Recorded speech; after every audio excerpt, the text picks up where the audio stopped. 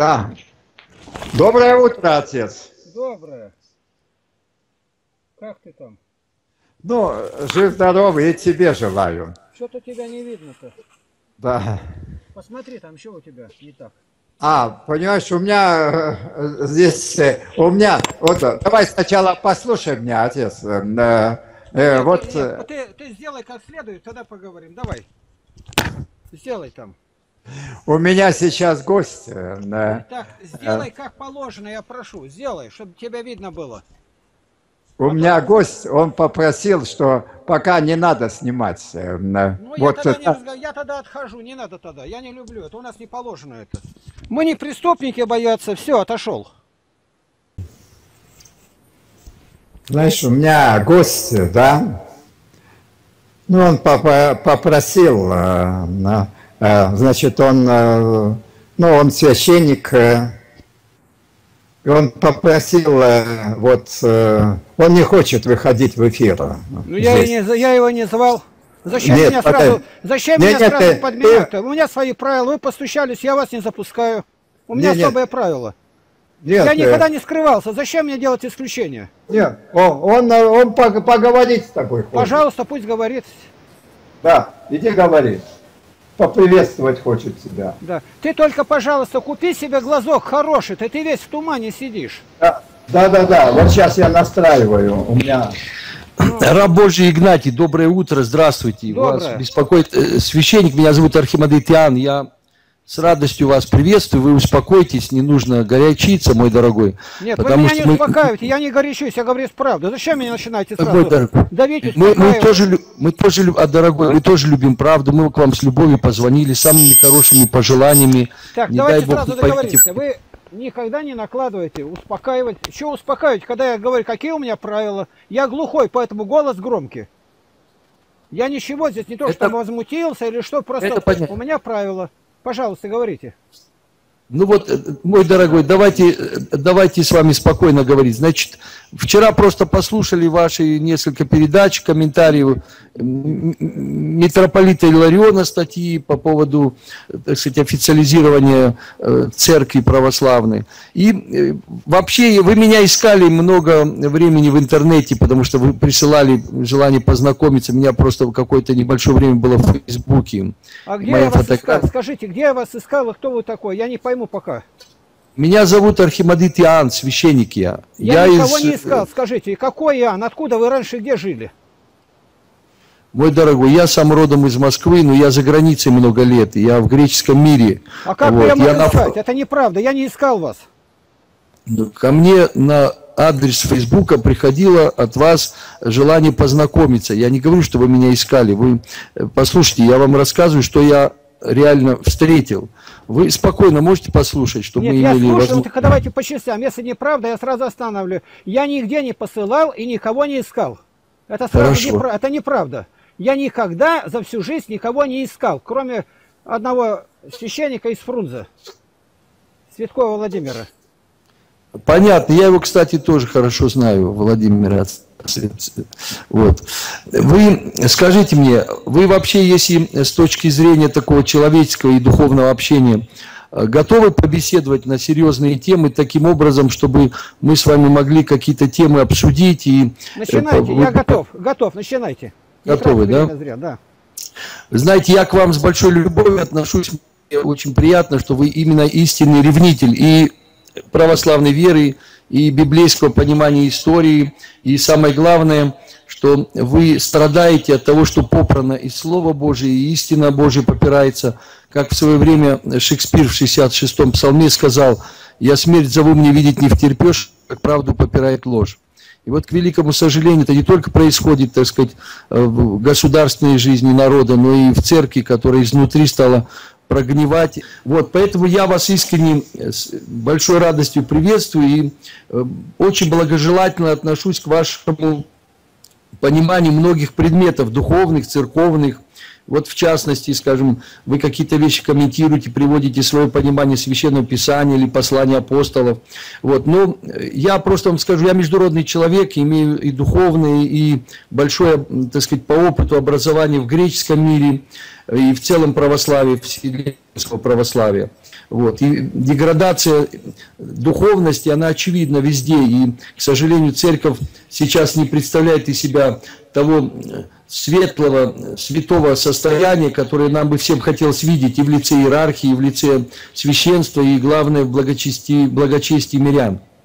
Вот помните, был такой знаменитый святитель Игнатий Бринчанинов, который сказал, беседуя с одним духоносом, повторяя его слова, что пойми время, как бы не ищи благочестие, что идет Богом попущенное отступление, то есть греческое слово апостасия, апостасия.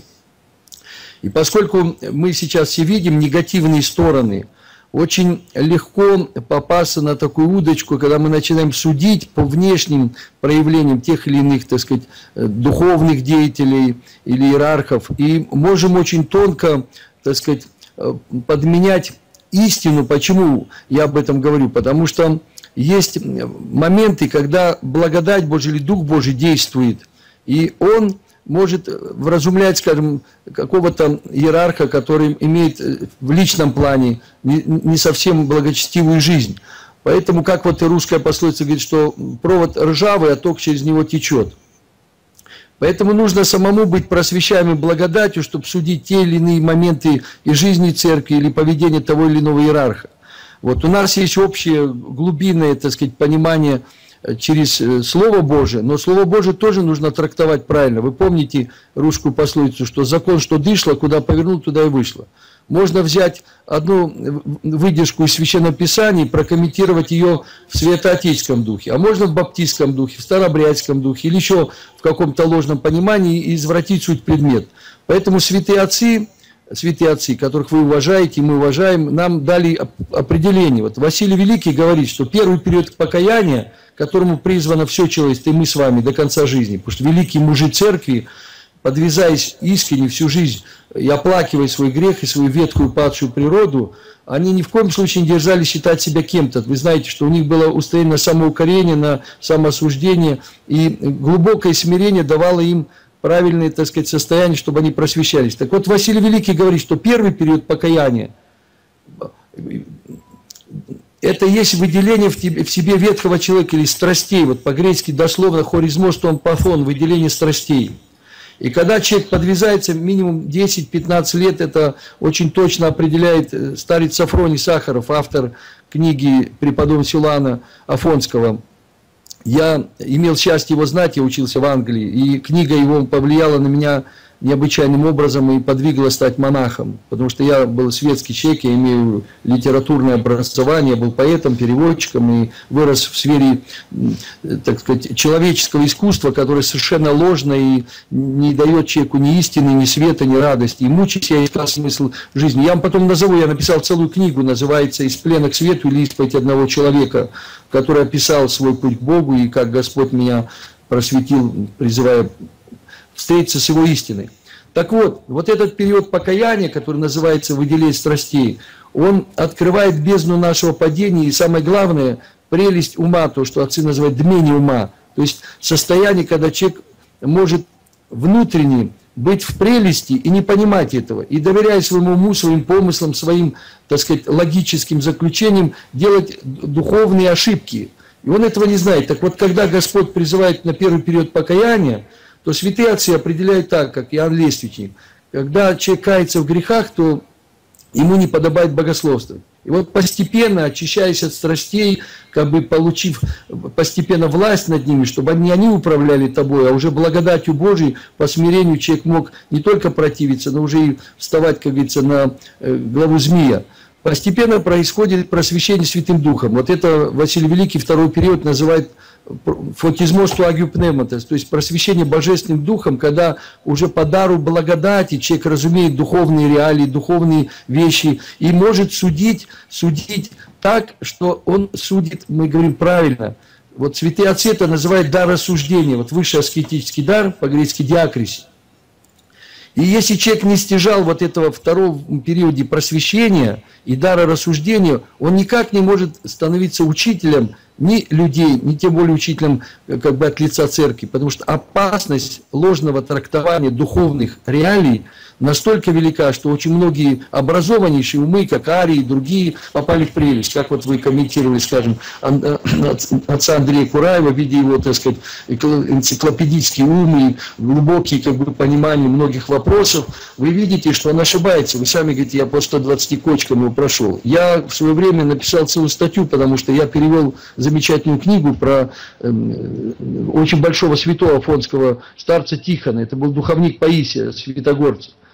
И он стал от своего ума там комментировать, как это так, он говорит, что вот он будет с неба приходить, святые отцы не, не себе не доверяли, что они спасутся и будут учителями. И, и грамотно его разобрал, это единственная да, статья, она вышла в 97 году, а я ее написал в 95-м.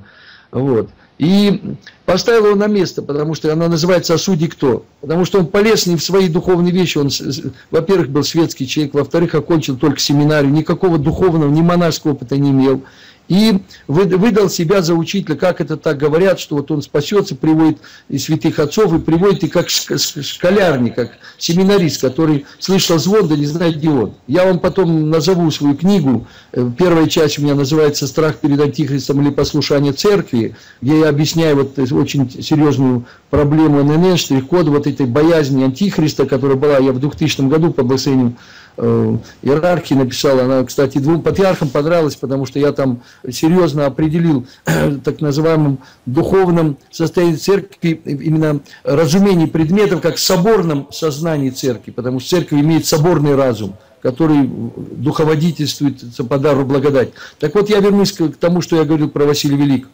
И вот если божественная десница хочет нас поставить с вами на свечницу, чтобы мы были учителями, то благодать Божия просвещает человека при больших-больших испытаниях, когда он действительно видит, что он никто, когда он смиряется, когда он видит проказу гордости, очень тонко действующий в нас страсти самоцена, тогда человек, просвещаясь по дару благодати, становится сосудом.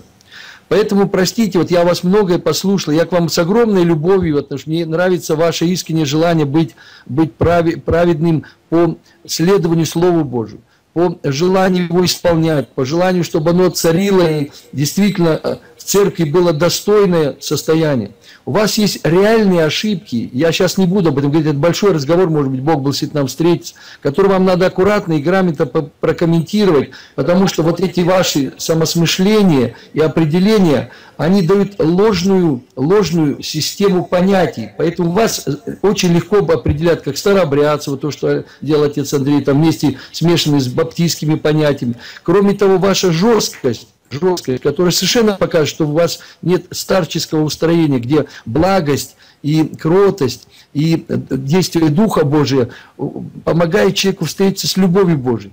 Все, что не исходит от глубокой любви и смирения перед последним грешником, даже тот, кто в ошибке, оно показывает, что мы сами еще не смирились, мы сами еще не стяжали кротость, мы сами, ведь Бог говорит нам, научитесь от меня, как я кроток смирен сердцем, ведь мы только начали с вами говорить, вы сразу жестко, включи камеру, вот сделай так. Это я не это, я не буду. О том, ну-ка сделайте так. Я ни от кого не скрываюсь. Прекрасно. Вы говорите как человек, который, допустим, прошел лагеря, тюрьму, как исповедник. Но он не стяжал благость и крота сердца. Вот я имел счастье почти 20 лет знать отца Николая Гурьянова, которого Господь нам открыл. Этот Сталин 14 лет прошел лагеря и ужас советской страшной системы. Он весь дышал благостью, он вообще никого не судил. У него была удивительная тактичность ни, ни в коем случае не позволить о ком-то сказать плохо или кого-то определить, вот он такой секой. И он дышал любовью, любовью ко всем.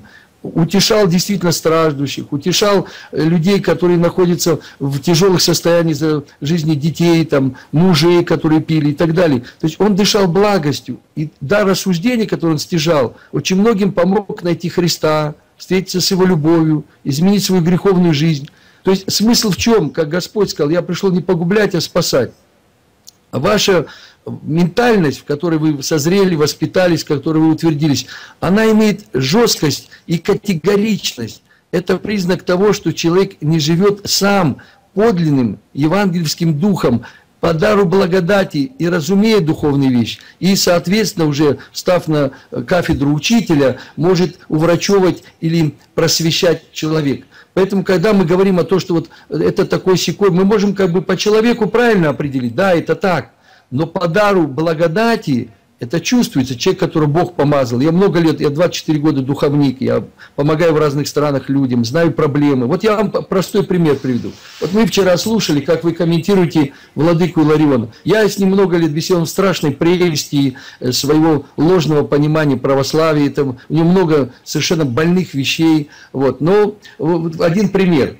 Вот, допустим, вы там комментировали, что там стала возрождаться семья, вы говорите, там какой-то там ни Евангелия, ничего нет. Вот апостол Павел сказал там, потерял мужа, допустим, не ищи жены. И вы это приводите как к категорическому заключению, которое должно быть постулатом, иначе говоря, как бы почти догматической истиной. Ну вот я вам приведу пример. Мы, духовники, встречаемся с огромным количеством людей, очень немощным в плане плоти. Люди, которые не могут держать все страсти, потому что уже их деды нагрешили так и отцы, что в них уже дух блудный вошел. Как вы помните, эм, сейчас вообще страшные социологические данные. У нас 12 лет девочки, мальчики начинают жить уже по плоти. 30% девочек, 20 мальчиков. И был такой поэт, Поль Эльвар французский, он жил в 19 веке, он сказал как когда-то, что говорит, у нас девочки не успеют созреть, уже мечтают себе как за миллион продать. Современная молодежь глубоко больная. И вот если такой грешный человек, я как бы кратко к чему я веду, вышел там, допустим, вышла девушка замуж, там по определенной причине не разошлись или умер. И вот если она одна осталась, все, не ищи мужа. А она не способна жить сама, потому что в ней уже этот падший дух действует. Это немощь, это страсть, это болезнь. Болезнь опасная, можно погибнуть. Апостол Павел говорит, не обманывать, блудники Царство Небесное след. Но если у ней будет законный муж, если она выйдет замуж, э, то она будет обеспечена милостью Божией безопасностью. Вы помните, апостол Павел говорит, во избежание блуда каждый имеет мужа и жену. Лучше жениться, чем разжигаться. Поэтому вот если комментирует, допустим, вот такой ваш вывод, вот человек послушает и скажет, во, видите, апостол Павел сказал, не женись, а ты что хочешь жениться? И вот вы, ваши, так сказать, слушатели, начнут другому тыкать, ты чего ищешь там жену? И вы делаете страшную ошибку, вы себе позволяете решать судьбу человека, который по дару благодати э, духовника должен подвигнуться к тому, чтобы молить Бога, что если Богу угодно, послал ему спутницу. Но, естественно, в Господе, никакого, чтобы было сожительство вне церкви что это действительно смертный грех, и Дух Святой не присутствует при соитии, чтобы зачинались дети. То есть надо грамотно понимать суть предмета и грамотно советовать. Были святые старцы, как Ян Крестьянкин, которые прошли лагеря, действительно люди большой любви, я его имел счастье тоже много лет знать. И вот, скажем, люди, которые попадали в современный блуд, он духовникам, есть известный в Москве очень духовник, он советовал 40 дней поставить на покаяние, так сказать, пособоровать, и потом, э, если человек уже понял, что он ошибся, раскаялся, позволить приступать к святой чаше. Хотя вы знаете, апостольские правила говорят, вот, если говорить канонами и законом, ветхозаветное понятие было, вы видите за город, побейте камнями, потому что блуд есть мерзость предо мной, Господь. Так сейчас надо всех убивать камнями. А апостольские правила, правила Василия Великого, Великого говорят, что 7 лет нельзя приступать к чаше, даже человек должен был стоять вне церкви. За прелюбодейство 10 лет, за убийство там 20 или до, чуть не до 25 лет. Если сейчас взять все, мерить канонами и законами, то мы сейчас должны на церковь повесить большой замок и всех поставить на колени, чтобы плакали и каялись. Но видите, церковь живет другим путем идет. Она открывает двери грешнику для покаяния, для того, чтобы любовь Божия приняла. Вы знаете, что в один момент только великий разбойник, который висел по правую сторону от Христа, наследовал Царство Небесное, потому что он смирился, он попросил милости, помяни меня во Царстве, и был взят в рай. Так вот, к чему я вас веду? Вы очень хорошо знаете и понимаете, что наша религия на самом деле, это не религия только законов и канонов. Это религия распятого за весь мир Бога, который в безмерных своих божественных и человеческих страданиях, потому что он был и совершенный Бог, и совершенный человек, взяв на себя всю мерзость всего человечества, то, что вы хорошо говорили, что это и прелюбодействие, и то-то, и то-то, все грехи мира – он болезнует за нас, мы его несчастные дети, мы поруганы грехом, мы попали в прелесть, во власть, так сказать, дьявола, и сатана ругается над человеческим родом. Поэтому мужи, которые называются учителями, старцами, они сами на себя брали грех. И вы знаете, допустим, Ян Кронштадтский, к нему пришел один человек и говорит, меня, говорит, мать проклял, не переживай, говорит, я беру на себя этот грех. Он брал на себя грехи, и в конце жизни страшно страдал, его чуть не убили, потому что люди, которые жили в Боге, они уподоблялись ему, сами брали на себя грех. Вот то состояние, в котором вы находитесь, вы не способны быть в старческом устроении, чтобы сказать, прости, брат, давай помолимся, что Бог тебя простил, что я буду тоже за тебя молиться, допустим, кто-то впал в блуд. Что вы категорично по осознанию той или иной заповеди, того или иного духовного закона будете сразу же наводить суд, как прокурор. Потому что у вас такое устроение, вы в жестком устроении. И вы не чувствуете, потому что то грубое состояние, в котором человек находится вот еще оно не дает ощущаться, потому что надо увидеть со стороны свою гордость, свою прелесть. И поэтому, если бы у вас был духовник, он бы вам сказал, мой друг, давай с тобой еще исцелимся, а потом выйдем на кафедру, чтобы не только проповедовать, но еще и э, вразумлять, как исцелять. Я вам таких десятки примеров приведу, вот то, что я послушал. Я опять же говорю, я с большой-большой любовью к вам, с искренним желанием и пониманием того, чтобы вам Бог помог и просветил. Поверьте, я очень люблю и сам истину, сам за нее всю жизнь страдаю, и в нашем мире, которым апостол сказал, что всякий, кто хочет жить благости, будет гоним, очень тяжело смириться от всех безобразий. Но если вы не стяжете духовный разум по Богу, то вы будете в состоянии, которое люди называют раскольническим, или схизматическим, или каким угодно, старобрядским, или баптистским, но вас не воспримут как духовного, духовного, говорю, мужа, который в лоне церкви, созидая свою бессмертную душу, смог стать светочем по действию в нем Божественного Святаго Духа. И через ум, когда мы начинаем научать, и через сердце, которое должно источать благость. Потому что вы сами приводите пример, а я вам приведу пример апостола Павла. Плод духовность, любовь, мир, радость, кротость, воздержание. На таковых нет закона, а и же распяша плоть со страстьми и похотьми. Вот по вашему устроению, как вы реагируете, как вы говорите, видно, что у вас кротости и смирения нет, мой золотой. Жесткость. А это есть признак того, что мы сами больны. Так врачи исцелиться сам, говорит Господь. Что же мы от лица Бога проповедуем и на все наводим суд, если мы сами еще немощны, если у нас самих еще действует страсть, и самосмышление, и возношение, и категоричность, и презрение каких-то людей, которые нам могут так или иначе останавливать, сделать замечание. Вот как раз, когда человеку какое-то делает замечание, от его реагирования на, по благости, ощущается, насколько он стяжал правильное устроение. Поэтому, мой дорогой, я вам с большой любовью желаю помощи Божией, и в ваших трудах, и в вашем желании, так сказать, помогать людям. Потому что наша цель – помогать людям обрести любовь Христову и спасаться, потому что мы все его дети, которые мучимся в этом мире. И поэтому любовь Божия пришла нас спасти. Поэтому вам самому нужно, нам бы, если бы получилось возможность встретиться, может быть, если Бог был сыт, я бы мог вам позвонить, там, я улетаю послезавтра в Москву, вот. И я вам многое мог бы объяснить с любовью, и вы бы посмотрели на себя со стороны, в свете правды Божьей, так, как она есть на самом деле, не как мы ее воспринимаем. Потому что вы очень хорошо понимаете, есть духовные вещи очень серьезные. Вот нож, одно оружие. В руках врача это оружие, которое может сделать операцию, спасти человека в руках доброго хозяина и можно резать хлеб и угостить человека. А в руках бандита этот нож может быть орудием убийства. Одно орудие, но в трех руках разные действия. Так вот мы тоже. Слово Божие это обоюдоострый меч, обоюдоострое оружие. Словом Божьим евреи, которые трактовали день и ночь сидя Писания, они Христа на кресте пригвоздили. Ты не от Бога, ты не хранишь субботы, ты такой зависти. Вы видите, что сделала иудейская высшая, так сказать, элитная, духовная, так сказать, группа. Она его на крест повела. Хотя они трактовали, до сегодняшнего дня евреи и ожесточенно считают нас, христиан, безумцами за то, что мы, к сожалению, так сказать, в их очах являемся богоборцами. А они-то богоборцы.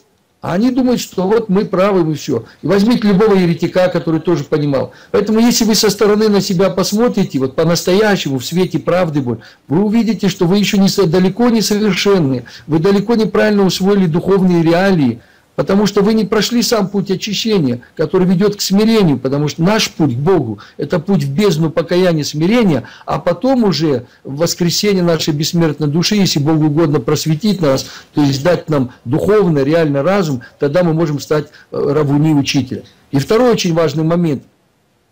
Вы, когда комментировать стали Илариона, вы вот он говорит там, что возрождение там началось там при них, да все это чушь. Наоборот, это мрак, это все, надо было что делать? Не избегать монахам там в пустыне, а надо было идти проповедовать, идите проповедовать Евангелие. Я три вещи здесь прокомментирую. Во-первых, глубинная суть Евангелия заключается в том, что Господь, выйдя из вот Иордан, сказал, покайтесь, приблизь Евангелие. Вот это цель всей нашей жизни, глубинное, подлинное покаяние, которое, чем больше мы будем каять, тем больше откроет и нашу бездну падений и плен страстей наших.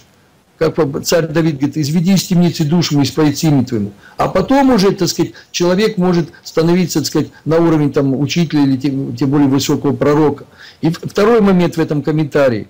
Значит, Господь не сказал, идите проповедуйте всем людям. Запомните, учителями могут быть очень редкие люди, которые прошли глубинный путь смирения. И сейчас мы вообще живем в трагическое время, когда особенно важные слова апостола Якова, немногие делайтесь учителями, потому что мы все много согрешаем. И преподобный Силуан Афонский говорит, если человек от Бога не имеет Бога не учить, он оскорбляет благость Божию. Видите, как опасно, потому что мы можем резко что-то сказать, оскорбить благость Божию. Господь умер, может, за какого-то грешника, который в прелесть, а вы его раз к стенке поставите своим пониманием Ветхого и Нового Завета и пониманием там каких-то правил святых отцов. И вы даже не будете видеть, что вы так, в, в той жесткой...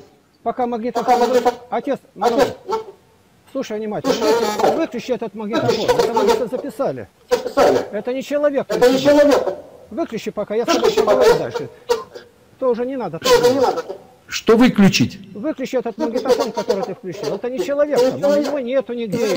Я, не, я вообще ничего не пишу. Одну секунду. Одну секунду. Я с вами, так, мой дорогой, отец, я с вами отец, просто... я прошу, тот голос выключи. У нас времени нет, мне надо уходить уже. Я тебе да. скажу, я выслушал почти целый час.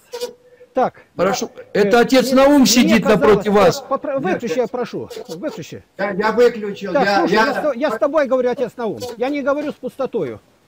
Так, незадолго до смерти один из самых крупных актеров, Михаил Ульянов, сыграл великого инквизитора.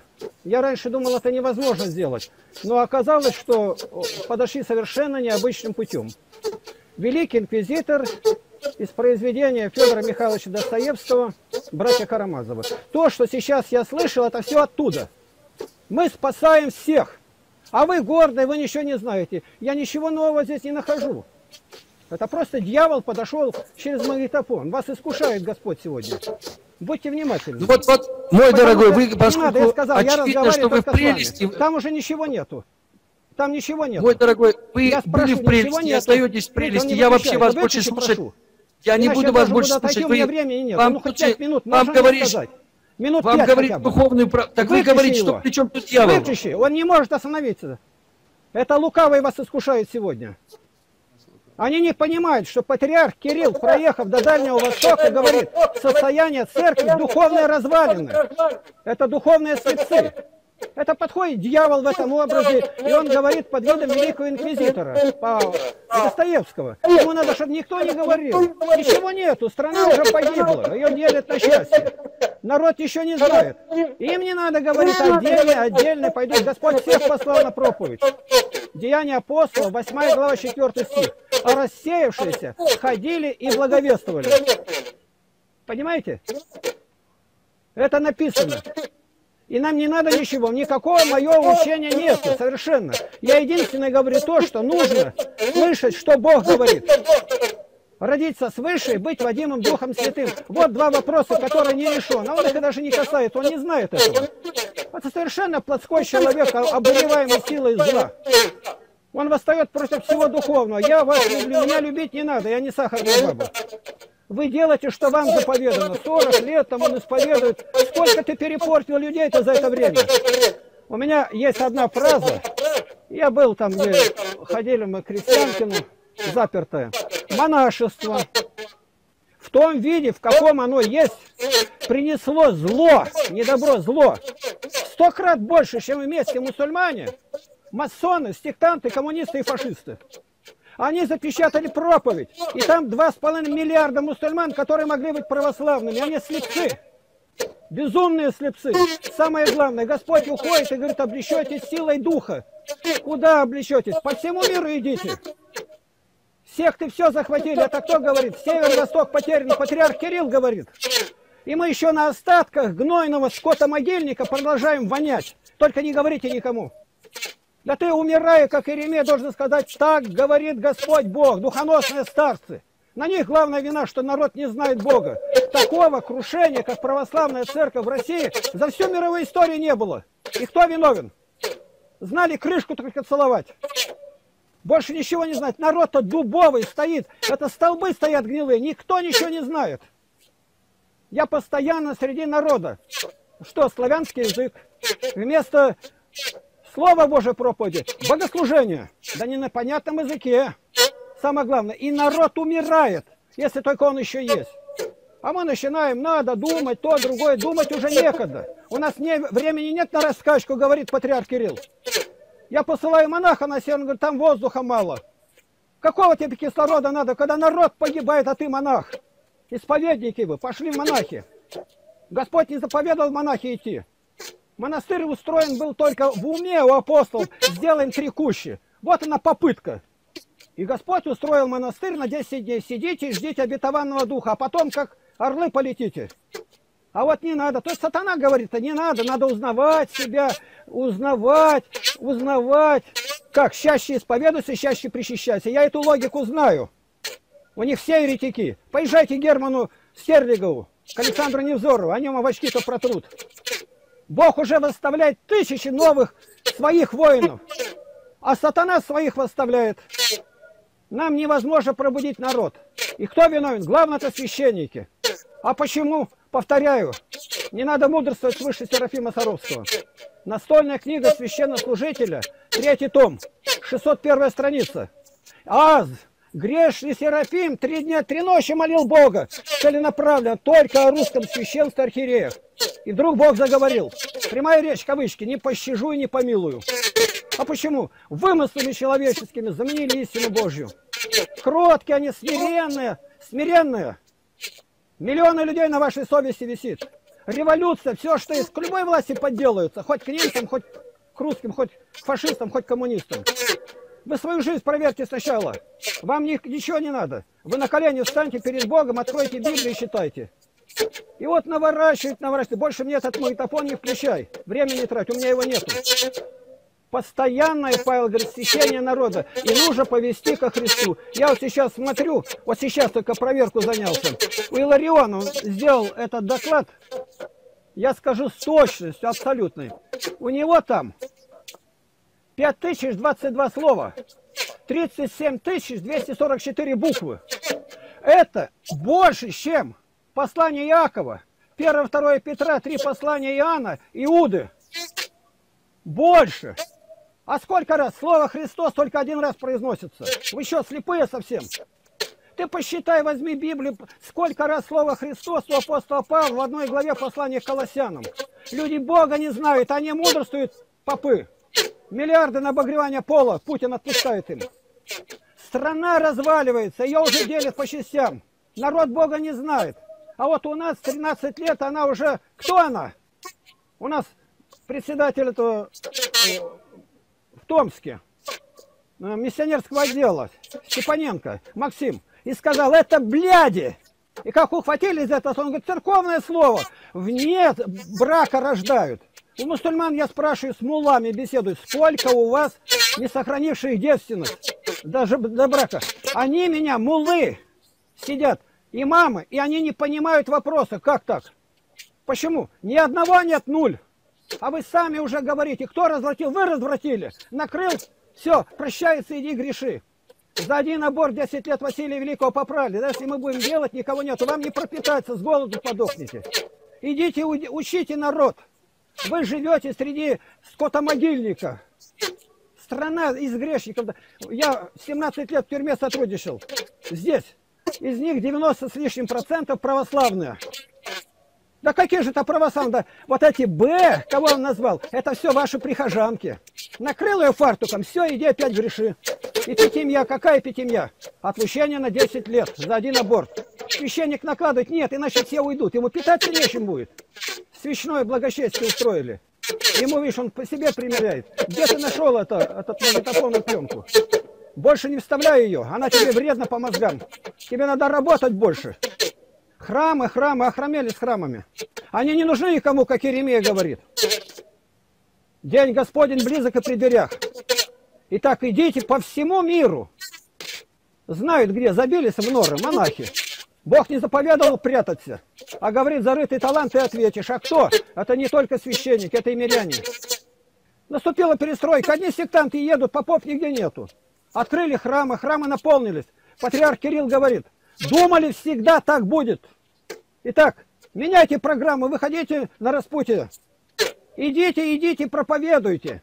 Надо переформатировать сознание народа. Все они что-то гладят. Народ мертвый, ему надо воскресать, а не ремонтировать. Ремонтировать собрались. Кого ремонтировать, когда сын мой был мертвый, а жил, пропадал и нашелся? Нас мертвый по преступлениям оживотворил. Вторая глава. Они боятся как Библию, он ее не поминает даже, ему это не надо. Кто там наговаривал на эту пленку? Не надо. Сами себя боятся. Если это был бы живой человек, он бы предстал, как я предстал. Если он знает, написано, участь боязливых в озере огнем, он за свои слова не отвечает. Я не могу сказать, вот этот человек так делал. Его нету здесь. Нету, это дух. Злой дух пришел к тебе в дом. Чего бы он прятался? Того не может показать, у него образа нет никакого. А он боится, с кого боится? Боится того не мирян, а боится то, что он мне говорил, его все скажут, ой-ой-ой, какой батюшка хороший. Он говорит, что епископ, если узнает, как бы он его не вырубил, он епископ хуже лютого зверя считает. Ведь лютыми волками названы только священники в Писании. Безбожники, евреи там, идите овец среди волков. А призвав к себе, написано из Мелита, в Ефес, 20 глава Деяния апостолов, из вас лютые волки, говорящие превратно. Ты что делаешь? Тебе отвечать за свою жизнь надо и за пасту свою.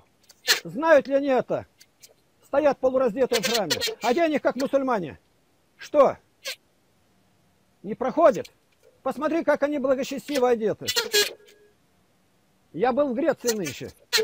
Это как на пляж выходят. И теперь объяснение попы этому дают. Какое? Объяснение простое. Чтобы нам не быть похожими на мусульманок. Вот они увидели, человек прямо стоит не пьяный. Я буду пьяный, чтобы доказать, что я не сектант. Я говорю, что ж ты пьешь-то, православным? А меня назвали сектантом, я, а сектанты не пьют, вот я теперь каждый день пьяный. Я не мог доказать, что я не сектант. Не надо доказывать. Бог тебя избрал, открыл тебе, иди и благовествуй. Повторяя деяния апостола, 8 глава, 4 стих. Когда возникло страшное гонение в Иерусалиме, написано, это говорит Иоанн Златоуст, Иоанн Златоуст в девятом томе своем, что самые сильные остались в Иерусалиме, апостолы, а рассеявшиеся ходили благовестия, рассеявшиеся, дети малые, жены, дети, все. И вот эти мусульмане, 2,5 миллиарда, были бы христианами. И так это понятно. Египет, где в Египте кто? Ливия, где Макарий египетский был? Это все мусульманское. Кто? Профукали попы. Монахи, это монахи погубили. Они запечатали самые силы, высасывали и гробили за стенами. У одного Пахомия было 11 тысяч мужиков. До 11 тысяч проповедников сегодня можно было Туркмению обратить. Узбекистан. Ни одного нигде. Это путь сатаны. Сатана больше всего боится проповедовать. Уполномоченные по религиозным культам в России не разрешали никому. Даже военный СНС не мог визитку издать. А богослужение, пожалуйста, почему? Да это мертвая зона. Антракт молчания. Богослужение, которое в храмах, оно должно быть понятное. Разъясните народу, народ не знает его. Поэтому как понять? Певцы поют совершенно не в попад. Они не понимают, что поют. Это не кто-то не говорит, а председатель, председатель миссионерского отдела Томской епархии Московского патриархата. Самсонов, отец Алексей. Вчера мне прислали. Вы маленько-то гляньте на мир. -то. Вы ничего не видите, не понимаете, на какой мы версте стоим-то. Уже вся история мировая завершается. А вот только не надо говорить, не надо, ты над собой работай. Он работает над собой, кто там тебе наговорил, то он понятия не имеет. Иначе откуда бы это голубое лобби-то среди монахов было? Они лоббируют интересы дьявола, не свои собственные. Только. Мы живем среди священников, где бы ни были, одна ложь. Одна ложь. И его не, нельзя исправить. Их только выжигать Бог будет. Они епископы друг друга боятся. Патриарх боится своих синод и епископа. Участь боязливых в озере огненном, горящим огнем и серо. А это строго. А Писание говорит так, и святые говорят, ты избери себе наставника, строже которого нет во всей вселенной. Сказал Игнатий Бринчанинов, ну и сказал он, он отвечает за свои слова. Для меня эпиграфом в первый день, когда я обратился, стало Евангелие от Иоанна 12.48. «Я не сужу вас, слово, которое я говорил, оно будет судить, и поэтому все остальное за кадром. Слово, я со словом должен сверять, а не с тем какой-то дай духовник, вы еще не кончали. Это мое благо, что меня не портили, не корежили мою душу, ни семинария, ни академия. А зачем семинария? Чтобы уметь оправдать любое злодейство. Перед вами бритые стоят, и вы не видите. Развратные приходят без эпидемии, принимаете, она опять туда же идет. Вор на воре, говорит, гора на горе. Вам спасения никакого нет. Ян Златоуст говорит, Ян Златоуст. Большая часть священников погибает. То 10 священников мы сейчас сидим в комнате. Минимум 6, минимум. Будет в аду гореть. Священник говорит, а что вы Златоуста говорите? То есть, когда касается их спасения, не надо. Слово не судите никого. У священников имеет один смысл. Не трожьте нас. Я вам переведу ваши слова, что это означает. Не трожьте нас. А потому что судить священников не надо, действительно. Почему? Потому что они осужденные уже Богом. Богом осужденные. Если взять из сторожей спасается сколько-то, то из священников по Серафиму ни одного почти не спасается. А Златоуст говорит, большая часть. Вот и дома теперь сиди. Чьи эти слова записал на магнитофон? Что это у тебя за дух пришел к тебе в комнату? Его останова никакого нет. Он сейчас говорит, его нельзя остановить. И хоть одно место Писания нет. Зачем ему это? Он баюкает до конца, он исповедует и причащает. Амвросий Юрасов приехал сюда. Я говорю, ты часто исповедуешь все время. И говорит, не исправляется народ, одни и те же грехи. Я говорю, ты напоминаешь хозяйку на даче. Ведро помету куриного привезла, раскрутила его в бочке-то. Осяла маленько, покаяние. Завтра опять ты на исповеди трясешь. Надо родиться свыше. Верующий Сына Божий не грешит. Ему не надо проверки. Вас Дух Святой будет обличать, а я должен довериться вот какому-то духу зла. Он будет исповедовать. Он исповедует это по своей мерке. Ты спроси Илариона этого Алфеева. Почему он рукоположен 21 год священник-то? Вам плевать на все каноны, вы играете канонами. Канон. Шестой Вселенский собор, 14-15 правило, говорит, извергнуть, если раньше срока. 21 год, ермонах. Кого может исповедовать? Грамоты на весь земной шар, а сердце как песчинка для Бога не отданное. Следующее воскресенье будет, я продолжу разбор его выступления. Там на каждом шагу надо раскрыть и показать, что он имеет в виду. Я показал вот сколько посланий. Три Иоанна, два Петра, Иакова. Это пять, шесть, семь посланий Иуда. И его выступление больше, чем у них. Там Христа нету совершенно. Там нету услышания голоса Духа Святого, не обстановка. Там сплошная, сплошным потоком идет слепота. А почему он говорит? А он знает, что требуется сегодня, придержащим власть. Он нигде не наступит, как Иеремия. Пророк Михаил говорит, что скажет Бог, то скажу я. А с кем советоваться? С Богом. Они под себя все подминают. А никого нет. Еще они с места на место ездят. Мне не надо ездить. Я проехал, вернулся. А никого нет. А сколько накладываешь эпитемию? Какая эпитемия? Оглашенные за дети выбросили службы. Вы выбросите, когда я священнику одному рассказал, что такое оглашенное, а он уже 40 лет священник, он даже не знает этого. Я говорю, оглашенные за дети. Кто вышел? Никто. Да если, как вы говорите, тогда я сам должен выйти. Ну и выйди, тормоз пятилетки. Зачем ты здесь стоишь-то? Ты рукоположен неправильно, служишь неправильно. Ты любить никого не любишь, ты любишь свою утробу и указывать где-то, а его сильно задевает мое слово. С этими, что вот, который наговорил там, этот магнитофон твой, он никому не пойдет к епископу. Он в них ничего не видит, он язык проглотил. А здесь он решил повеличать. Да я его сразу версту слышу, зловонный запах ада. Россия в смертельной опасности. Российские войска уже не в Чечню, уже они там, близ Украины. Восток России потерян. Теперь Краснодар все, идут уже митинги. Слепцы. Посмотрите, что делается. И кто виновен? Священники. И когда, проходя из собора 17-18 года, епископ красноармейцу говорит, разве так Евангелие написано? Он говорит, а нет, что мы читали, мы только крышку целовали. Крышку целовали. И больше ничего не было. Народ Бога не знает. Вот об этом надо подумать. Не давай себя обольщать никогда, иди и проповедуй. Что храм строишь, это положительно, у тебя плохонький домишко был. Но каждый день иди куда-то, иди кому-то свидетельствуй. Сейчас Дворкин выступает. Самая быстро растущая секта свидетелей Иеговы. А дальше говорит, каждые две минуты появляется сколько. Почему? Их руководитель, он должен в течение одной недели минимум пять раз домов посетить где-то. Это тот называется у них генерал, там пресвитер. Мне звонят, потом пишет письмо бабка с Беларуси, 84 года. инвалид второй группы по зрению.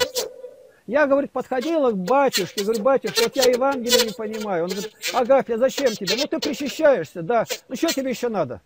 Я опять пошла к нему. Отец или Ферри, я совсем вот, ну хочу знать, вот Евангелие не понимаю. Не надо, ты как сектантка стала. И вдруг две красивые девушки постучали в дверь. А вы не хотели бы заниматься Библией? Библией. Все. Она иконы сожгла, слушать не хочет. На чьей совести? Ян Златоуст говорит, если одна душа погибнет по вашей совести, по вашей, по вашему небрежению, о священник, тебе не хватит всей жизни рассчитаться, а по вашей вине миллионы погибли. Главная вина-то священники, вы не учили, вы имели доступ к народу. Вы не пойдете на катакомбную жизнь. И кого ты судишь-то, несчастная душа? Ты должен сказать, я вот сделаю так, если Бог благословит и научит. Он не научит. Ты сначала освободи сердце от всего, что тебя научили. И скажи, вот, возьми мое сердце, Господи, наполни его. посмотри, что тебе Бог скажет через Святую Библию. Им Библия не надо. Гурьянов, Иоанн Крестьянкин. На их даже страдания их не подействовали. Они снова нырнули туда, где они были. А были такие, которые шли с котомкой, у него там все, и Петрохиль, и говорит, вот, храмов нет, теперь весь храм у меня за спиной. И теперь он пошел. Волги Никифоров пишет. Вопросы ко мне. Коротко вопрос-ответ, пожалуйста, задай, батюшка. А, ну, а... Магнитофон больше не включай. А, да, э, проповедь была... Так, погромче. Э, проповедь э, твоя была хорошая, да, и благовествовать это нужно. Что я делаю все время и делаю это постоянно. Слава вот. Христу.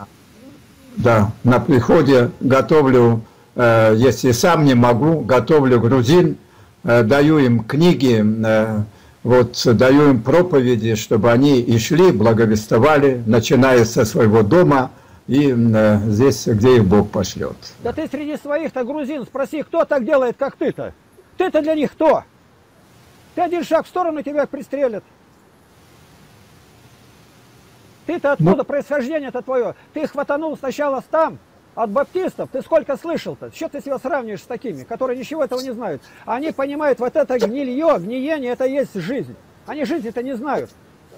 Они с друг другом только общаются. Народ далекий. Патриарх Кирилл говорит, уже к священникам я не обращаюсь, говорит, а к пастве. Вы подойдите к священнику и скажите, батюшка, давайте вместе соберемся и чайку выпьем. Общего-то нет никакой. А то, что если патриарх на этом уровне говорит, то, наверное, что-то есть. Патриарху-то нужна помощь, а не просто, чтобы балаболили, что попало. Да. Спаси Господи, Отец. Слава Иисусу. Я проверил, у меня вот этот лучшая эта камера. Да, получше маленько. Да. Ага, это... Она, может быть, еще у тебя лучше, но не такая, как та, расплывчатая, но это не... Это же недорогая она.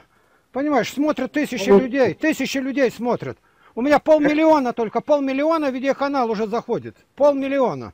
Хорошо. Ну, можно да, же, да. вот у меня парализованный Сергей, он все сам купит и пришлет и поставит, но я не могу вам послать. Нет, нет, э, мы, мы займемся этим. Э, знаешь, отец, у меня вопрос по описанию. Давай. Значит, э, где труп, там соберутся орлы. Да. Это вот в 24 главе Матвея. Вот труп это э, и орлы. Ну хорошо, слушай. Апостолу задали Христу вопрос, сами не понимая, что спрашивает. Когда это будет, а потом и какой признак твоего пришествия? Это два вопроса, а для них он был как бы один. Они соединили пришествие Христа и признаки, а думая, пришествие будет, не успеете городов Иудиных обойти, как я приду. Они вообще не понимали, будущее уже исполненное благодати Духа Святого. И Христос отвечает двойным. Первое, это об Иерусалиме. Иерусалим будет как труп растерзан хищными птицами, римскими легионерами. Когда нападет Веспасиан, и осаду закончит его сын Тит. Тит. Второе, речь идет о пришествии, это было посещение Христова Иерусалима. Посещение означает наказание, вразумление. И второе в этом вопросе, когда ты придешь и какой признак пришествия, второго пришествия. И он это говорит, где труп, трупом называет свое явление. Посмотри, руки, ноги пронзенные. В таком виде он явится. И соберутся орлы, это верующие будут вознесены. А там орлами названы римские легионеры. Все. Да. Ага. Ну, да. Это Ян Златоус объясняет, это не мое объяснение. Да, вот у меня это было сомнение. Вот, значит, один проповедник назвал, говорит, орлы, значит, орлы-падальщики, то есть грифы.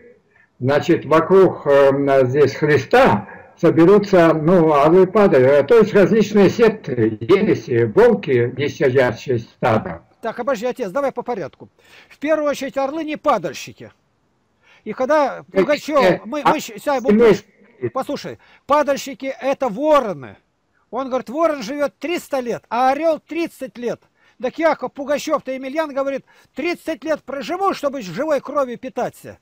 Орлами написано и полетите, как орлы, и не устанете. Пророк говорит о верующих, то есть идут на проповедь, как орлы. И в данном случае орлами называются верующие, которые причащаются тела и крови Христовой.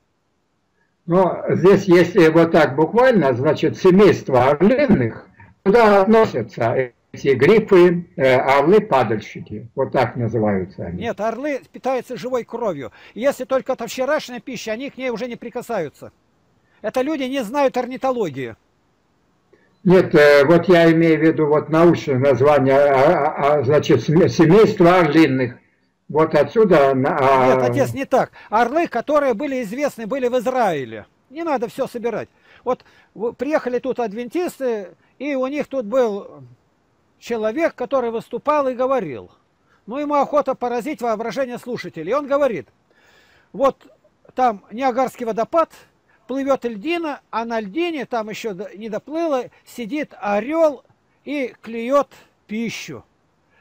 А люди mm. видят, что скоро водопад, и кричат ему, улетай, птичка, улетай. А он не улетает, он сидит и клюет. Они знают, что уже пристыл. И вот когда он взмахнул крыльями, а ноги у него пристыли. Понимаешь, это настолько выдумано. Я тоже телефон связался с аграрным университетом, там факультет зоологии, и спрашиваю, скажите, какая температура на ногах у льва этого, у орла? А я знаю, решил посмотреть новое. То же самое.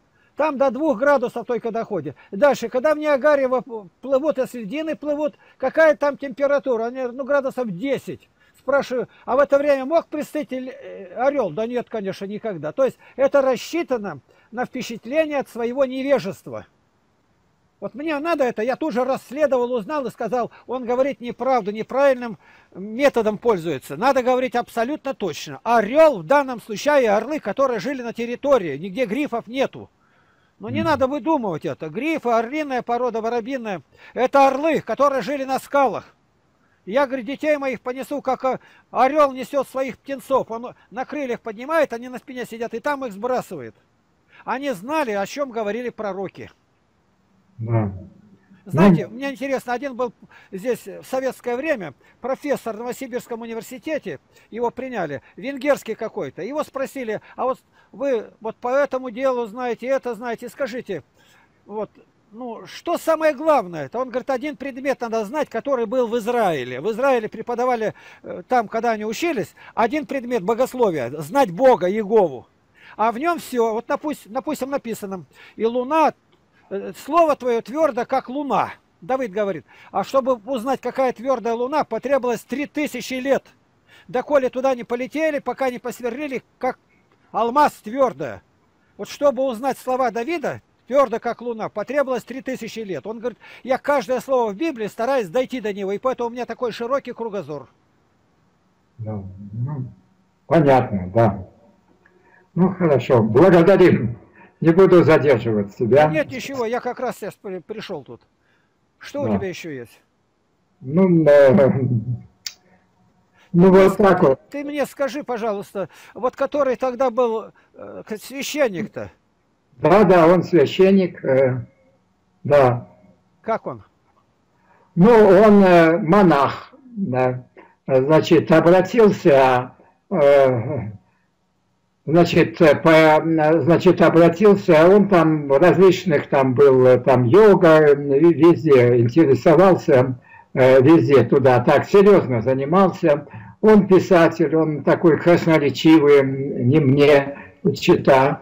Эм, э, там стихи пишет, вот книгу он написал, вот он скоро, наверное, будет, э, э, чтобы ты, ну, свое свидетельство, как он обратился к Богу. Ну и, конечно, вот это вот пошел через монашество, поехал туда-сюда, этими, везде этих статцев объехал, это в Грецию поехал. Ну, он как образованный здесь...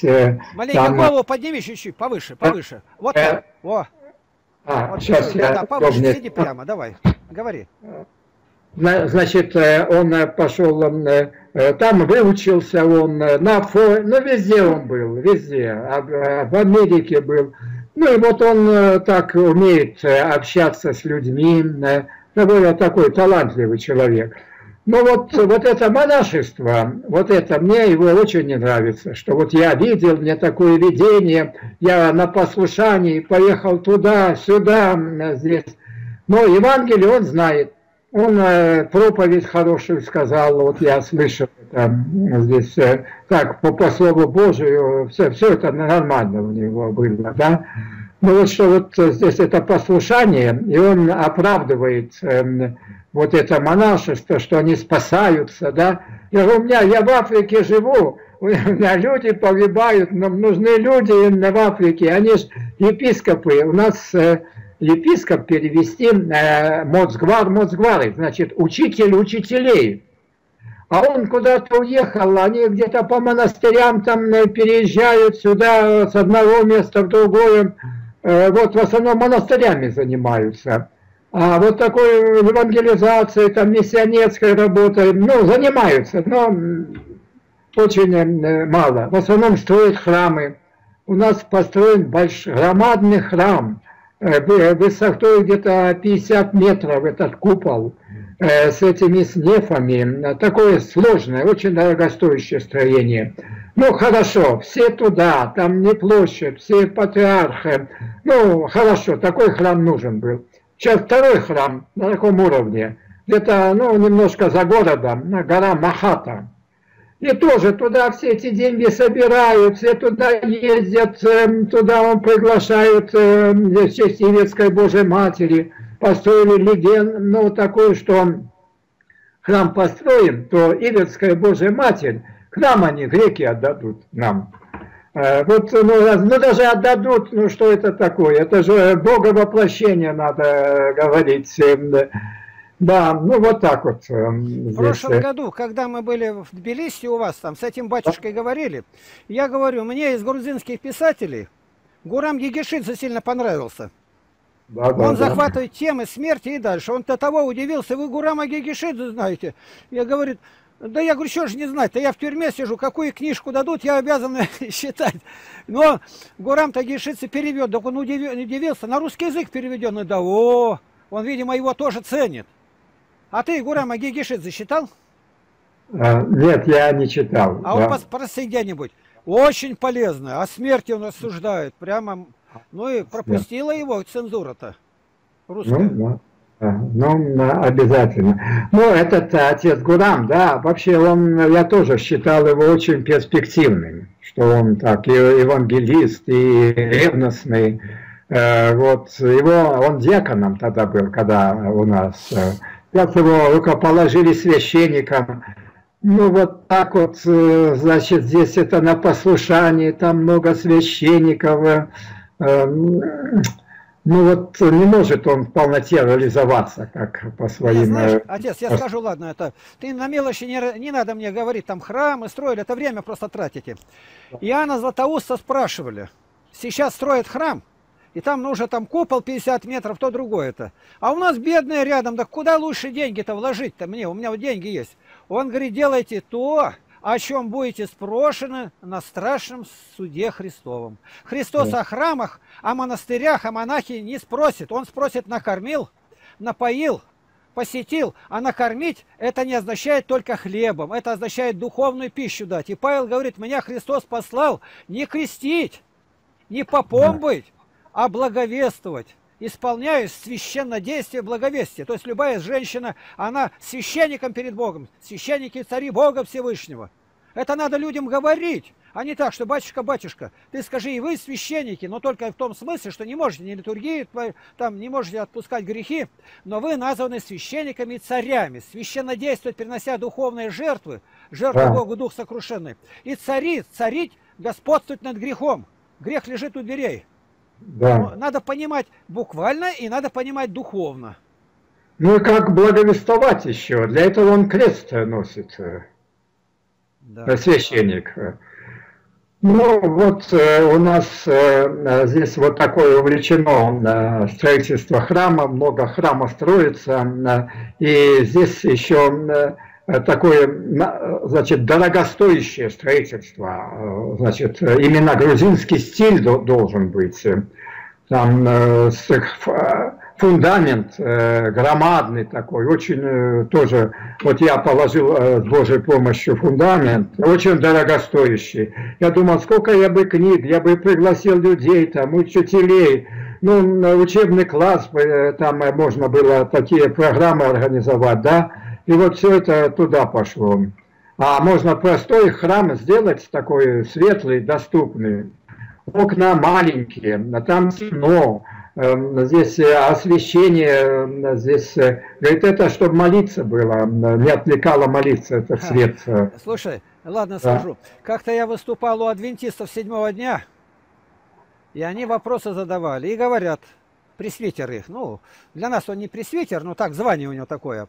И он говорит, у нас вот пожилые вот сестры, они, говорят, во время богослужения нашего в окно смотрят, уж не знаем, что делать, как это. А у вас, говорит, нет такого, чтобы не отвлекало? Я говорю, у нас этого нету. Во-первых, у нас отвлекать не от чего они не понимают. А во-вторых, окна у нас на расстоянии 4 метра от пола. Да-да-да, ну вот так надо, так надо делать, да. Ну вот, не буду отвлекаться, да, отец, я, Ладно. что будет, побеседую. Благодарю тебя за это. И...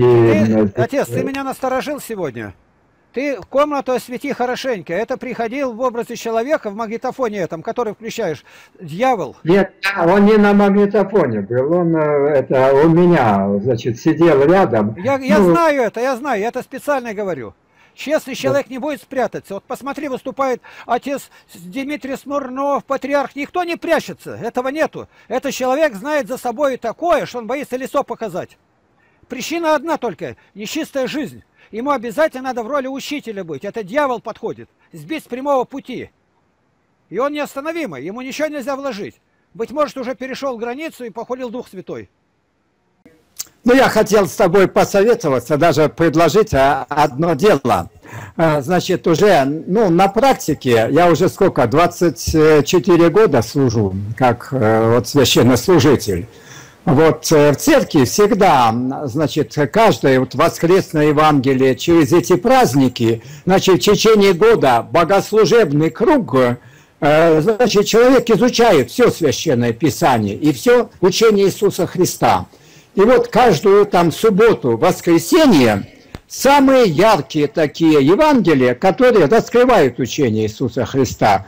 Вот э, мне иногда не хватает, э, да, вот э, мудрости, знаний, чтобы составить проповедь, допустим, субботу, это будет Дмитриевская родительская поминальная суббота, воскресенье, притча о богаче и Лазаре, понимаешь, чтобы э, хорошо бы, что вы на ваших собраниях эм, вот э, эти темы, потому что у тебя аудитория есть, и они были в церкви, они слышали это Евангелие, но, может, проповедь не всегда слышали. Вот это компенсируется. Значит, именно воскресную проповедь апостола и Евангелие, хотя бы коротко. Так, Скажи, пожалуйста, эту... что у тебя сегодня такой глазок-то плохой? Хуже вчерашнего а. намного. Понимаешь, я на другом компьютере был, да? Ну, прямо совсем тут. Ты, ты это не смейся, это нехорошо. Все время подсмеиваешься. Не надо вот так, ха-ха-ха. Это не надо делать. Да. Христиану это... Во, вот так, стой. Я извиняюсь. Назад, назад, отстар... отстранись маленько. Голову отверни. Вот так.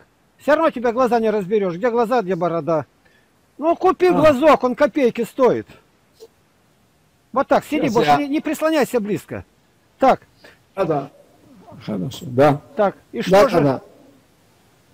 Ну, вот, э, А здесь или по совету, или вот мне э, вот э, именно воскресенье, в субботу, значит, Двительская родительская суббота. Ну вот как бы ты подготовил проповедь э, на эту тему? Или, или вот воскресенье Лазаря, это воскресенье. Ты на наш сайт заходишь, сайт? Да, да, да. да. Там 1300 проповедей моих, 1300. Я на каждый, что Евангелие говорится, считать, я на это говорил проповеди. А. Это то, а, что вот. сохранилось. А их проповедей-то, может, было четыре с половиной, пять тысяч проповедей. Вам готовы только взять. Там по алфавиту выставлено название, Ветхий, Новый Завет. Так, свет не надо этот, он совсем мешает. Убери его, вот так. Вот так. Ты, ты проще мне скажи, зачем ты вчера этот магнитофон притащил сюда? Нет, это мне... Зачем? Зачем? Это ну, слушай, движимый злобным да. духом. Он видит, что кладбище, и он к этому продолжает бить. Это слуги дьявола. Как ты этого не видишь? В свой дом затащил. Ведь он с тобой-то до этого говорил, ты мог увидеть, что перед тобой, что за дух-то какой. Мощи надо. Да Христос сказал, оставьте мертвецам хоронить мертвецов. С мощами возятся мертвецы. Христос не сказал, выкапывайте. Даже как будто у Христа в уме этого не было. Слушай внимательно. Сказал хоронить, и то это мертвецы будут хоронить. А что выкапывать, это даже ни один злодей не придумает, что делается. И ты ему позволяешь этому магнитофону в своем доме быть. Как ты мог не сделать это? Выключи свет, он мешает мне. Борода просто у тебя вот так, пластилиновая сразу делается. Вот так, во, вот так сиди. Не надо это делать-то. Ты сам себя оскверняешь через это он там где-то изъясняется в любви, они это, эти, это, дух злобы такой. Он сначала подошел, мы знаем, ты не льстишь, говоришь, правда, скажи нам, надо ли подать. И он с этими словами, он меня любит, я его искал. Он меня ненавидит, этот дух, который в нем, дальше он раскрывается. И он, я его не искал, я его знать не знаю, я его отверг. Подходя к дверям, я говорю, отрекаюсь от сатаны, и всех дел его, всей гордыни, всех ангелов его, а ты его затащил в дом к себе. Что тут непонятно? Он восстает против проповеди, против обличительного слова. А чтоб кому-то сказать, я должен еще 70 лет прожить. Да считай Иезекииля 3.18, если ты видел, ты видел, а так ко всем говорит, и он согрешает, а ты его не обличил, он погибнет, а его кровь я взыщу с тебя. Я не хотел бы говорить, но я обязан. Но если ты говорил, он погибнет, кровь его у него на голове, но ты спас свою душу. Это злобный дух Язык... у тебя был. Подожди, подожди, Иезекииля... 3.18. Ага. 3.18. Это прямое повеление Богу обличать. Слово Божие для наставления, научения, обличения. Он не знает ничего. Он не знает, что монашество загубило веру. Он не знает этого. Лезут в монахи. Что они у вас в Грузии монахи-то делают-то? Да пусть бы они шли да проповедовали. Народ клонится во всякое злодеяние. Ведь если есть воры в законе, из них, наверное, половина грузины. Посмотри фильм. Да. Это все преступные группировки, все грузины везде руководят. И все православные, все православные. Там, же, там один грузин только был. Я говорю, что там у них это все покупается за деньги. Сейчас в интернете все выставлено, имена показаны. Ни один, ни два. Не речь идет о а. сотне. О сотне. Ну, сейчас, э, когда власть поменялась э, с Грузии, их всех они ушли. Э, да, их да, да, да, кого да. не посадили, они уехали с Грузии. Поэтому ну, да. вот, Потому что сказали, если вор в законе, никакого закона не надо, сразу его к стенке. И все кончилось.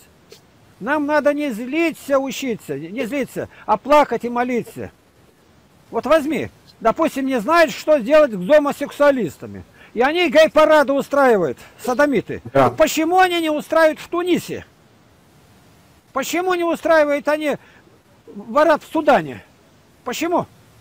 Потому что если только узнают, что он такой, никаких гей-парадов, ничего, его в этот день башку отрежут. Я не говорю, что это надо, но это люди, которые будут наказаны Богом огнем вещим, как Содом, садомиты. Как-то христианские страны гей-парады идут. Откуда они? Где, в каких семьях родились эти выродки? Что доказывать-то тут? Доказывать ничего не надо. Мы просто прикидываемся верующим. Никакие мы не верующие после этого. Да если бы все время говорили об этом проповедь, было бы такое отвращение, народ бы, говорится, плевками их завалил. Отец, ну. христианство это не шутка, как Златоуст говорит. А для многих христианин слово это пустой звук, вводящий других в заблуждение. Если я христианин, вопросы сняты. Я обязан точности знать, что Бог требует. А, это, знаете, это закон. Буква убивает. Как может буква Господня да. убить? Да. Когда в я... заложено Духом Святым смысл, вникай куда? В себя и в учение, я... занимайся постоянно. И дальше, да не отходит книга сия от уст твоих, то есть слух ее читай, дабы в точности исполнить. Да. Даже, даже Иисус крещение, крещение, таинства не могут. Рукополагают пацанов. Тоже Иларион Алфеев. В 21 год уже поставили его пресвитером. Он еще не знает это. Я воскресенье, Он буду, в воскресенье буду его доклад о Миланском эдикте разбирать еще да. дальше. Он только 6 страниц да, да, да. Э, Он у нас был э, вот э, зимой. Его так приняли хорошо. Он там небольшой доклад. Э, его перевели какую-то книгу я, э, значит, э, он э, написал три тома о православии. Я когда ну, начал читать, вот это тот же язык, который вот вы читали, что ничего нельзя понять этим языком. Ну, да. И да, и все, я оставил это, эту книгу. Он специально да. говорит показать, какой он учен. Если бы он верующий, зачем бы он придумал секуляризацию и всякую пакость это говорит-то? Почему да, по-простому-то не сказать? Он не знает, как сказать по-другому. Парадигма. Ну почему не сказать пример, образец? Такие слова пример есть. Что у нас парадигмой не стало, люди не знают.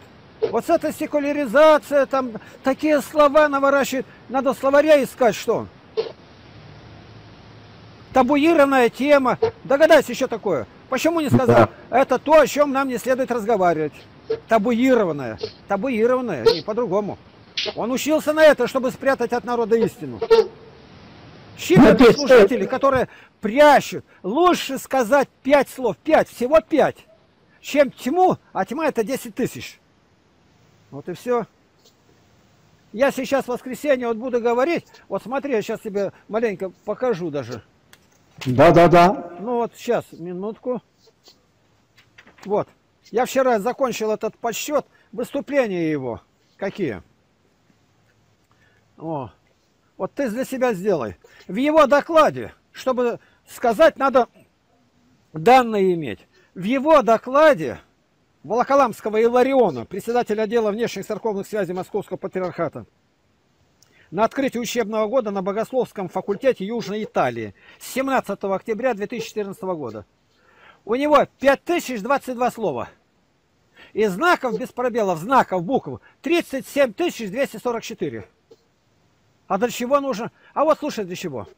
Слово Христос у него вот в этих встречается только один раз во всем докладе. Один раз.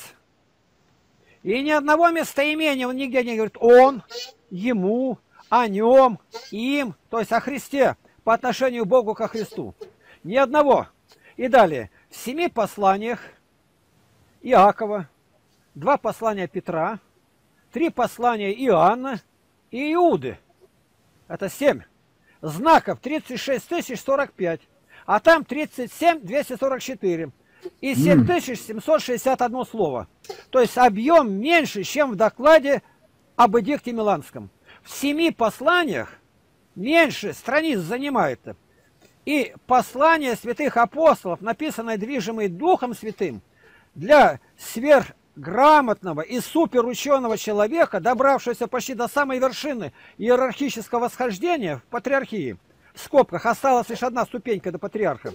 Эти семь посланий, семь книг Нового Завета по объему даже меньше в своей совокупности, чем доклад об эдикте. Эти семь посланий не стали парадигмой, для него примером. Ни для него, ни для синода его, ни семинариста. Я специально высмеиваю это слово парадигма. И это так, тысячелетия. И для сравнения, в этих семи посланиях слово «Христос» у него один раз, а здесь встречается 46 раз. А местоимение с большой буквы «он», «ему», «о нем», «им» по отношению к Богу 109 раз. Итого в упоминании имени Христа расклад такой 155 раз в семи посланиях святых апостолов. И один раз в докладе митрополита Илариона, один против 150. И такой расклад всюду, где не любят Святую Библию. Я математически показал. Один из 155. Еще непонятно-то, что это люди чужие для церкви, чужие Ну, для ему- Бога, чужие для, для спасения людей. Но один из 155. Он 155 раз принизил то, что делает Христос. Он 155 раз ударил, выщелкивая по одному месту. В докладе его показано. Он 154 выстрела сделал против Библии. Они не могут разговаривать евангельским языком. Это обмерщенный, рафинированный ум, вычищенный от всего духовного. Я сегодня вот я снова им занимался и показал, какие он слова выискивает. Не в каждом словаре есть. Ну ладно, я занимаюсь все время, я знаю это шатию братью. Так он митрополит. Так и пускай он будет учителем, учится у апостолов. Я дал семь посланий, еще непонятно-то. Я, не, я ни с чем не сравниваю. Ни со своими проповедями, ничего. Но у меня в каждой книге, книге, том, три тысячи ссылок на Библию. Три тысячи. В каждой проповеди Иоанна Златоуста от 35 до 70 ссылок на Библию. Они не учатся там, где Дух Святой. Это мирские люди, захватившие власть церкви. Главное, чтобы не женился, а потом друг на друге женятся. Это все пожирают вокруг себя, все уничтожают. Я говорю то, что есть. Я не могу не говорить, я обязан говорить. Да, вот сейчас, э, да, я аминь, да и аминь. Я э, э, это очень поддерживаю здесь. Где просто, там ангелов доста. Да. А где мудрено, там ни одного.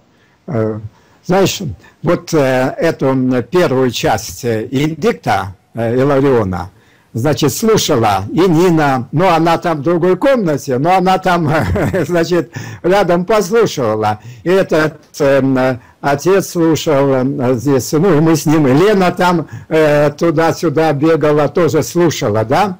Ну и понимаешь, я, мне твой голос убедительный, мне э, он ложится на сердце, понимаешь? А они говорят, а он нас раздражает. Он так э, говорит, э, кричит все время, понимаешь? Э, здесь э, вот э, они, ну, такие нежные э, творения, как, как, как, ну, есть барабан, а есть скрипка. Э, да, Я понимаешь? глухой, глухой. И глухие говорят громко. Мне нужно, чтобы мне говорили громко, и на этой ноте я говорю. С тобой сейчас что я кричу-то? Никого нигде нету. Да. Я Да, обязан говорить. да. Я все Нет. время проповедовал, чтобы люди слышали. Нет, для меня это лучше, понимаешь, когда это доходит э, убедительно, понимаешь?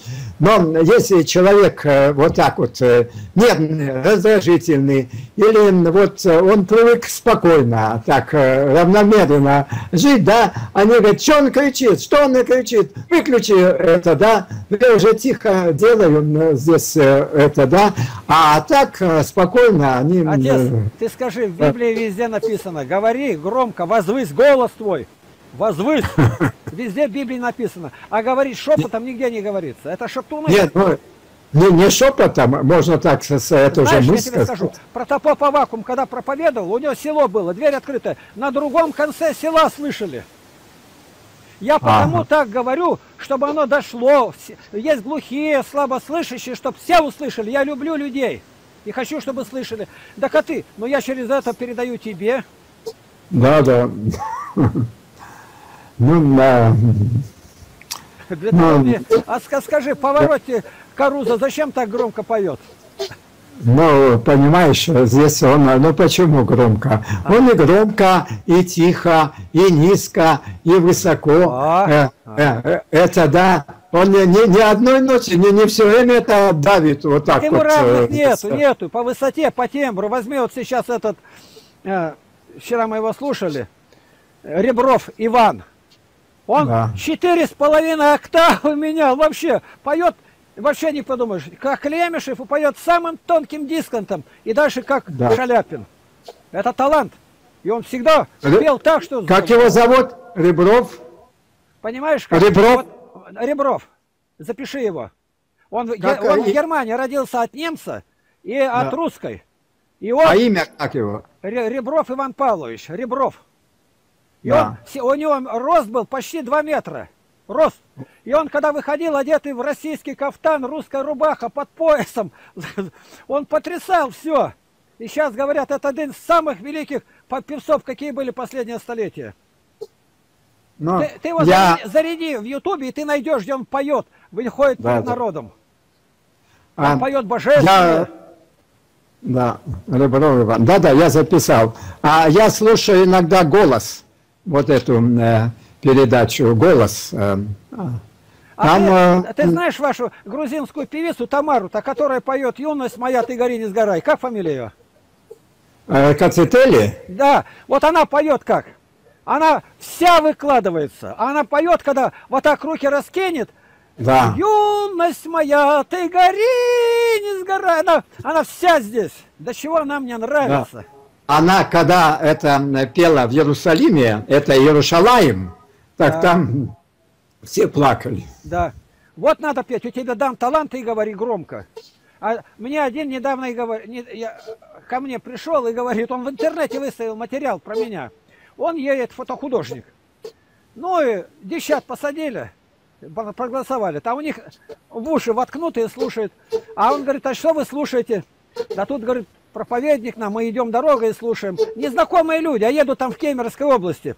А что слушает-то? Он, дайте я послушаю. Послушал, а я Библию считаю. Моим голосом насчитаны, с интернета сняли они. Ага, Я да, да, да. мужчина там какой-то. Я, говорит, включил тогда вашу проповедь Златоуста-то. А он говорит, а это кто? А я, говорит, говорю, так это Лапкин. Выключи, я не, не люблю. Приехали, говорит, там в столовую пришли, мы сели в столовой, там в Кемерово, кажется, они. Только сели за стол, а там рабочие, там монахи зашли. И первый вопрос задали, а вы откуда? Я говорю, из Барнаула. О, а как там Лапкин? Я говорю, того удивился всю дорогу и приехал в другое место. Почему? Я не Ларион, у меня ни грамоты, ни семинарий, у меня, ничего, у меня есть любовь. Я любовью к Богу, к людям заменил все в мире. И поэтому я, говорю нашел- громко и возвышаю голос. Да, Библия, значит, Библия, я набрал Библия онлайн. Да. И там, э, э, значит, э, текст Библии, и а, каждый стих, он озвучен. Я слышу твой голос узнаю. Значит, они каждый стих разбили на, значит, э, какую-то тему или какой стих набрал, она э, там озвучивает, выделен. Я знаю, А. знаю, они там специально. Там Вещекласс, Е- Есиков Вячеслав. Они сейчас интересно сделали как. У нас дети пели вместе Бог и Иегова. Стихотворение такое, поют дети Иегова. И вдруг я вижу в интернете стоят иеговисты. Да там интересно. И они поют наше, которое мы поем День Победы, День Победы. А, да-да-да, я слышу. Видел, они им слова, наше пение вложили, как будто бы они поют, а это мое стихотворение на День Победы. На День Победы. Да. Ты его слышал? Ну, Да-да-да, я, я слышу там. Да, ну, э, ну, слава тебе, Господи. А вот это мое предложение, а, отец? э, Ну, Нет, я, я это не буду делать сейчас. Во-первых, я отошел, а во-вторых, в готовых проповедях можно найти. Там 1300 проповедей. Ты просто по Да. алфавиту посмотри, и ты сразу найдешь. Кроме того, второй алфавитный составлен по списку по местам Писания. Это ты найдешь на нашем сайте. Зайди на наш сайт и увидишь там, а, а, вот как написано, аудио и видео. И Да, еще да. раз ткни, и там увидишь. Ты увидишь там, там как раз одна, один алфавитный список по местам Писания, по Евангелию от Матфея, по главам, по Марку, на какие я говорил проповеди. И ты там можешь найти. Да-да-да. Это 1300 проповедей, это не две, не три. Да. Аудио, да? Да, на нашем сайте. Сайт, не форум, сайт. Сайт Игнатия Лапкина Нет, открытым нет, э, оком. Все, Да, сразу откроешь. там к истине один народ э, Да, ру. да, да, да, да, да. А Это- может это по- я по-русски в Google или в Яндекс заряди, найдешь. Да, Просто да. по-русски набрать. Игнатий Лапкин, сайт. Все откроется. Да, да. Ну что ж, спаси Господи, Отец. Слава Христу. Да. Я тебе еще раз хочу сказать, смотри, будь осторожен. Нет, нет, Осторожен. я, я, я его сразу вычислил, понимаешь? Я э, думал, что, понимаешь, может, э, вот он все время говорит, говорит без тормозов машина и на скорости. Здесь говорит, я что-то хочу сказать, не могу вставить слово. Ну, думаю, Игнатия ему даст. Ну, вот видишь, как получилось, что... Еще он пошел-то да. говорит, после того, как закончили мы, что он говорил-то дальше? Да, да, да. Но он очень агрессивно к тебе. Я говорю, он же правду говорит. Он тебе из священного писания показал э, здесь, что э, здесь вот это монашество. Это же я сказал, что ты же не против монашества, но не в каком она виде сейчас, да, э, да. да, какую форму, э, нету этих учителей, что это за игумены, превратились это все это хозяйство, нет такого духовного окормления, там Тысячи, тысячи людей э, приезжают туда. А какое окормление? Это батюшки идут э, за очередь, там стоит, эти сутками идут какие-то крестовые ходы. Значит, им а, а, какие-то семинары евангельские сделать. Ну, ну еще а дальше, ну, на эти да? слова твои-то, как он отреагировал? Да, ну, он бунтует вовсю. Я знаю, что я слушал полчаса его, и никакого конца нигде нет у него. Да, да, он, он, он э, бунтует и, и не принимает. Я говорю, э, тогда же ты Богу противишься. Он же тебе слово говорит. Здесь говорит, это отцы наши древних веков. Здесь это систему спасения в монастыре, выйди с этого мира. Монастыри так, должны... Я за то, чтобы один, говорит, не женатый заботиться о Господнем. Один, никаких обетов не принимать. И да. готовить миссионеров, и докармливать, которые старые, одинокие священники, миссионеры. Да. А, а нужны монастыри, я за монастыри. Чтобы было да. больше монастырей, чтобы готовили проповедников. Но никаких обетов безбрачия не давать. Это не надо. Вот как у Елисаветы было, родной сестры у Сарисы. У нее сестра милосердия, полюбила кого-то, а она да. одета по форме. Она говорит, я полюбила Прохора этого, христианский там солдат раненый без ноги. Ну, езжай, матушка, все. Вот это самый а. правильный подход, евангельский. Да, да. И вот эти, что епископы не женатые, это э, тоже против евангельской это против истины. Евангелия, против. Да. Они не знают это, жизни. жизни. Они все -то, там это, ну, они были женами там и с детьми, и они там где-то вот э, все время, да, и народ это знает и осуждает их. У нас один был, э, значит, он баптист был, э, Хризантом, и он как проповедник, и он такой высокий, видный мужик, да, и он, он стал православным, и патриарх его назначил э, здесь, э, да, епископом, потом был э, митрополитом он здесь. Но не знаю, почему-то он вступил в конфликт здесь, и его отлучили, или не знаю как, у него уже своя церковь, и а он так отдельно сам служит. Вот иногда эти его прихожане так к нам со мной встречаются. А ты вот последнее со священником московским Петр Михалев-то, ты слышал, нет?